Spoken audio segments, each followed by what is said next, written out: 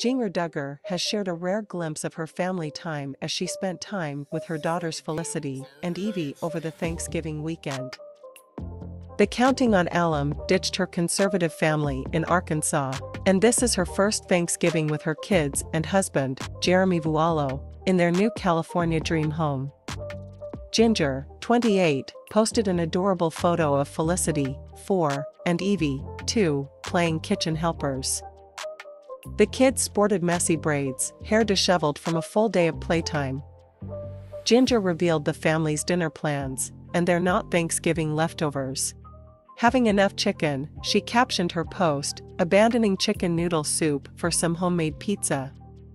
Previously, the ex reality star explained on Instagram Happy Thanksgiving. This year, we are homesick with the flu. Our friends texted me last minute asking if we had a Thanksgiving meal, and then they blessed us with this amazing Thanksgiving feast. In 2019, Jinger and Jeremy announced they were relocating to the Los Angeles, California area so he could continue his education with church.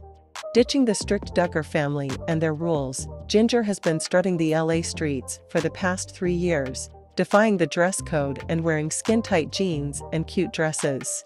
Jinger and Jeremy were renting a home over the past three years as they struggled initially to find footing in their new community.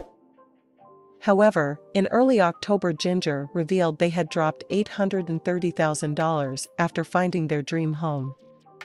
As Jinger and Jeremy celebrated their Thanksgiving, fans were concerned as they noticed the ex-pro soccer player is severely balding.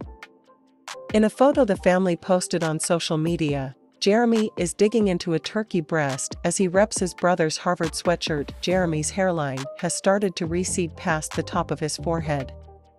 Shocked fans poured into an online forum to voice their concerns over Jeremy's rapid aging.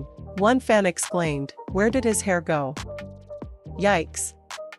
A second judged, I'm surprised he finally chose to accept it, instead of trying to cover it up with long hair or editing the photo.